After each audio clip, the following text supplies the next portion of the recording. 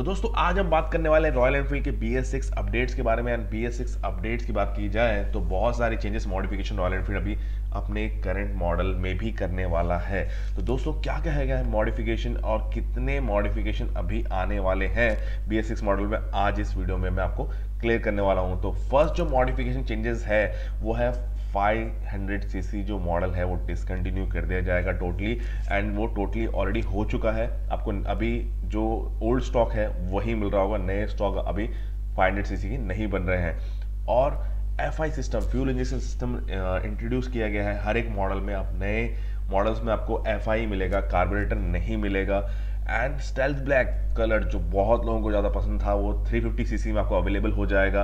And Chrome colour ये भी आपको 350 सीसी में मिल जाएगा। रॉयल एनफील्ड अपना जो लोगो है, वो टोटली चेंज कर रहा है। लोगो नया बनाएगा रॉयल एनफील्ड का, वो ही टैंक पे आपको देखने मिलेगा। ग्राफिकल चेंजेस बहुत सारे होने वाले हैं। Classic model Thunderbird models even आपके स्टैंडर्ड इन सब चीज़ों में ग्राफिकल चेंजेस भी बहुत सारे आने वाले हैं। 16 नए exhaust 16 new exhaust Royal Enfield launch कर रहा है। जल्दी आई थिंक फरवरी या मार्च तक वो भी लॉन्च हो जाएँगे।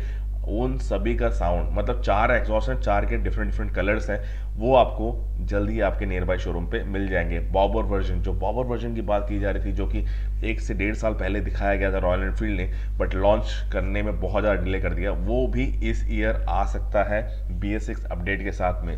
एक रॉयल एनफील्ड नया कॉन्सेप्ट लाई हुई है make your own make your own Bullet जिसमें आप अपनी गाड़ी टोटली कस्टमाइज कर सकते हैं रॉयल एनफील्ड के साइड पर देख के वहाँ से आप बाई भी कर सकते हैं, अब इवन अपने नियर बाई शोरूम पे उसको मंगवा भी सकते हैं, वहाँ से वो इंस्टॉलेशन भी करके देंगे आपको। तो चार्जेस वार्जेस सारे डिटेल उसमें दे रखे होंगे। तो ये कॉन्सेप्ट भी रॉयल एनफील्ड ने नया निकाला हुआ है। 350 जो है, वो वैसे ही रहने वाली है। 350 सीसी जो इंजन है, वो वैसे ही रहने वाला है। ज़्यादा मॉडिफिकेशन चेंजेस नहीं आने वाले।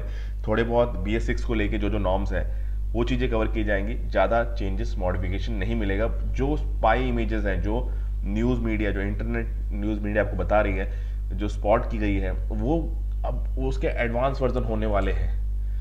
जो थंडरबर्ड एंड क्लासिक के एडवांस वर्जन होंगे, उसमें ज़्यादा, उसमें मॉडिफिकेशन चेंजेस ज़्यादा होंगे। जो करंट मॉडल है, उसमें ज़्यादा मॉडिफिकेशन चेंजेस नहीं होंगे। किक स्टार्ट जो है, वो एलिमिनेट किया जा रहा है। किक स्टार्ट आपको नई गाड़ियों में नहीं मिलेगा। As per B S six के नॉर्म में भी ये चीज़ है। तो वो शायद से आपको नहीं मिलेगा। स्टैंडर्ड में अभी भी डाउट है कि स्टैंडर्ड में सेल्फ स्टार्ट नहीं है। तो क्या पता सेल्फ स्टार्ट फ्यूचर में इंट्रोड्यूस किया जाए। एंड जो डिस्प्ले है, वो क्लासिक एंड थंडरबर्ड का, वो चेंज किया जाएगा, जो डिस्प्ले इंस्ट्रूमेंटल यूनिट है, वो टोटली चेंज हो सकता है। डिजिटल जो है, वो क्लासिक में आएगा एंड सिंगल जो इंस्ट्रूमेंटल है, वो आपको थंडरबर्ड में देखने को मिल सकता है। अलॉय व्हील्स अलॉय व्हील्स के पे भी अभी बहुत ज़्यादा क्वेश्चन मार्क है अलॉय व्हील्स आएँगे, नहीं आएँगे। बट चांसेस ये है कि क्लासिक में आपको अलॉय व्हील्स के ऑप्शन मिलेंगे।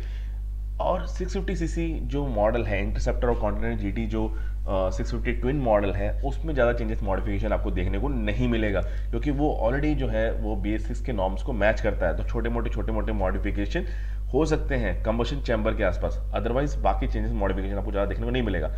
और चेसेस में जो है चेसेस बॉडी में चेंजेस हो सकते हैं बिकॉज़ रॉयल एनफील्ड के चेसेस एंड बॉडी में बहुत ज़्यादा क्वेश्चन पुटअप किए गए थे। तो सिंगल क्रेडल चेसेस के आ, बाद में अभी वो ला सकती है आपके लिए डबल क्रेडल चेसेस तो ये चेंजेस चेंजेस मॉडिफिकेशन आपको बी एस सिक्स में देखने को मिल सकता है और ये अपडेट अभी तक मैं बोल सकता हूँ कि 80 परसेंट टू 90 परसेंट तक राइट होगा। इसमें से 10 परसेंट चीज़ें होंगी जो शायद से नहीं आएँगी, क्योंकि अभी भी रॉयल एनफील्ड इन सब चीज़ों पे वर्क कर रहा है मार्केट स्टडी कर रहा है, ताकि जो नए मॉडल्स हैं, वो जो उनके यूज़र्स हैं, उनके कंज्यूमर्स हैं, जो उनके बायर्स हैं, उनको पसंद आ सके, उनके लिए एक सेटिस्फैक्ट्री मॉडल हो।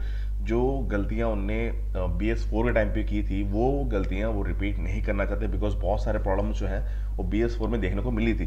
तो दोस्तों आई होप आपको ये सारी इन्फॉर्मेशन बहुत ही ज़्यादा क्लियर हो गई होगी एंड आपको बहुत अच्छा आइडिया हो गया होगा कि आपको कौन सा मॉडल बाय करना है और कैसा आने वाला है नया मॉडल तो दोस्तों, यहाँ लेते हैं अलविदा।